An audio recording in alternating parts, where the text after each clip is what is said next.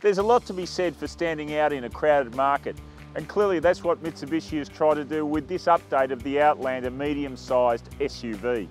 While there are some worthwhile updates under the skin, the most obvious change to the new Outlander is this massive grille, which Mitsubishi calls Dynamic Shield.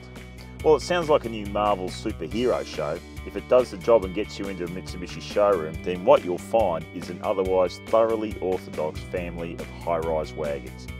This is the mid-spec XLS with its sub $40,000 price, 2.4 litre petrol engine, CVT automatic transmission and the choice of five or seven seats. It sits right in the heart of the Outlander range.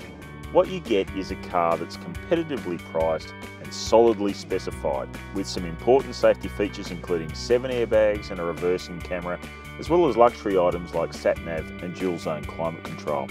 Mitsubishi is really proud of the effort it's put into improving the driving performance of the Outlander, doing a lot of tuning work to the steering, suspension and also improving the feel of the automatic transmission. There's no doubting it's improved, but the Outlander is more competent than confident in its driving, lacking the enjoyment factor that the class-leading Mazda CX-5 delivers. What most impresses about the Outlander is its quietness on the road. An acoustic windscreen, better sealing and revised damper tune all contribute to this. Considering how fatiguing noise can be on our coarse road surfaces, then this is an important feature. Another is the amount of space in the cabin.